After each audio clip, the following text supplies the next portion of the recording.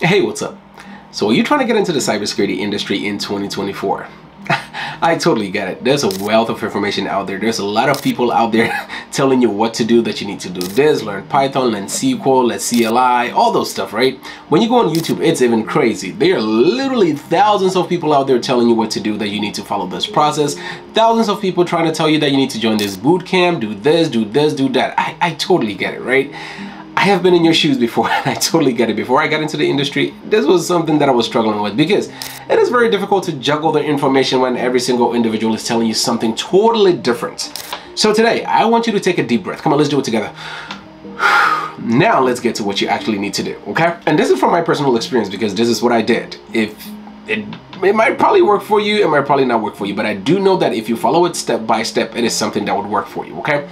So now, let's kind of like give it on a layman terms, right? If you want to get into the cybersecurity industry, there is something that you have to understand first, how computers interact with each other. Am I right? You need to understand how computers work with each other, how they communicate with each other before you can even safeguard it. Because if you do not know how, you know, information move from point A to point B, how are you going to intercept any sort of attack that's actually going to come in? Does that make sense? Okay, so the first thing that I need you to do is learn computer networking, okay? Let's take a pause, okay?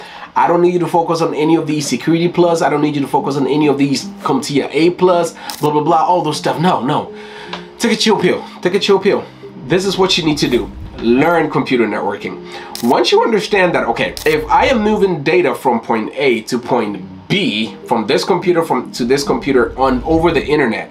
This is what, you know, how it works, the TCP, the OSI, all those stuff. This is how it works.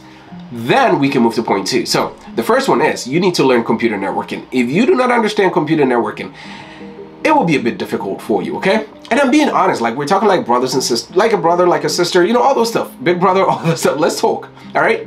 If you do not understand computer networking, eh, it will be very difficult for you. Now, once you're done with computer networking and you understand kind of like the fundamentals of how computers communicate with each other, you know, with the IP addresses, the DHCP servers, you know, all, all this IP address stuff, private IP address, public IP address, all those stuff. Once you understand that, then we can move to the more serious stuff, right?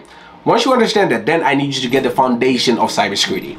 And for you to get that foundation of cybersecurity, you need to learn Security Plus. Okay, so it's a process that you need to follow. It's a simple process. So the first process is you have to understand computer network and how computers communicate with each other. And after you learn how they communicate with each other, then you move to the security section of things. So you have to understand the security, how you, you, you can secure, you know, these computers, how you can put like Canary Wolf, all those stuff on there, how you can use these SIEM tools, how you can learn with all these NIST publications, how you can learn all these extra stuff that you need to do to make sure that you're securing your network or you're, you're securing the assets that you have then you do that, okay? So point one, networking, point two, you learn uh, Security Plus, then you get your Security Plus certification. Network Plus certification, I don't really think you need it, but most companies, even the DoD, is requesting that you get the Security Plus certification. So that's something that I would recommend that you take, okay? So first one, you have everything squared away, and then the next thing that I need you to focus on is a course that I would recommend to you. I cannot recommend this course enough. It is the Google Cybersecurity Certification on Coursera, okay? The main reason why I tend to recommend this certification a lot, there are two of them, the Google Cybersecurity Certification on Coursera and then the Microsoft Cybersecurity Certification on Coursera.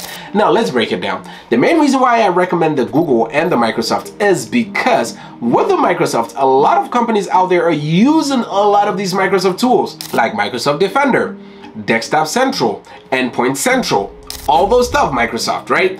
Most companies tend to use these a lot, you know, for patching, deployments, all those stuff. So if you learn the Microsoft Cybersecurity Professional Certification on Coursera, it actually helps you because most companies tend to use Microsoft stuff as compared to using Mac or any of those stuff, right? And then we move to Google. So Google Cybersecurity Certification is something that I would actually need you to take as well. So these two, so it's four steps, right? So you start off with networking, you start off with Security Plus, and then you finish off with the Microsoft and Google Cybersecurity Cert. Once you do all this together, it would actually give you that foundation that you need to get into the cybersecurity industry. And believe you me, you can even get a cybersecurity entry level role as a detection analyst, a cybersecurity analyst, and you know, you move up from there. So after you do all those stuff that I've shown you now, the next thing to do is projects. Because you can't just learn, go read or whatever the case is and then not implement it in any project, right? I mean, it doesn't make sense. So the next thing that you need to do is projects. So projects, there is one website that I would actually recommend for you. It's called Try Hack Me. T-R-Y hack me, right? Try hack me. So basically what that website does is it gives you so many projects. and I'm serious, it gives you so many projects that you can actually follow. Do those projects after you've done, you know, the previous stuff that I told you to do. You do those projects and that gives you those hands-on experience that you need. So as to make sure that if you become, let's say, a pen tester and then you're hacking into a system, Try Hack Me would walk you through the process on how these pen testers do it with the IP addresses and stuff like that. If you're doing any sort of like malware detection, any intrusion detection, any endpoint detection stuff, any vulnerability analysis or detection stuff, they would walk you through it. It's a step-by-step -step process that they walk you through and then you answer some questions, you're doing some real hands-on projects, and that helps you to become more confident when it comes to the interview side of things, okay? So after you do that, try hack me, then you move over to resumes. Resume is one of those things that becomes very difficult after everybody have done whatever they need to do to get into the cybersecurity industry. And I, I, I, mean, I totally get it because sometimes it's so tedious when you have to fix your resume for every single job that you have to apply for. But that's something that you have to do regardless. Whether you like it or not, you have to do it. You have to go through the process. It's, it's literally what it is. It is what it is and you have to follow it, okay? So now let's go over the processes again to make sure that you get it. So the first one is you have to learn computer networking. Two, Security Plus, meaning you have to take this CompTIA Security Plus certification. Most people probably sometimes tell you that if you're new to uh, uh, um, the computer world or cybersecurity, then take the A Plus. A plus, I feel like, I mean, why do I need to know how to connect printers and stuff like that? I don't really recommend it, right?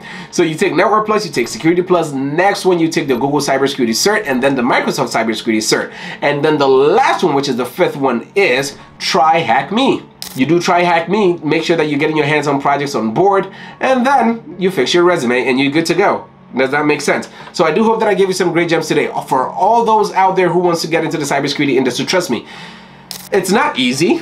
I'm not gonna lie. It's not easy. It's it's it's very difficult for you to get into you know uh, the cybersecurity industry. Some people get in easy because they're smart. They have these higher IQs, which is totally fine. But that does not mean that you cannot get in this world, right? There's a process that you have to follow. And this process that I've given you today is what would actually help get you get your foot through the door. It's a step-by-step -step process because I, I do not want you to go out there and take those $10,000 boot camps. That would probably not help you right? You go pay $10,000 and I, to I totally do get it that there's a lot of people out there who need structure. I get it, right?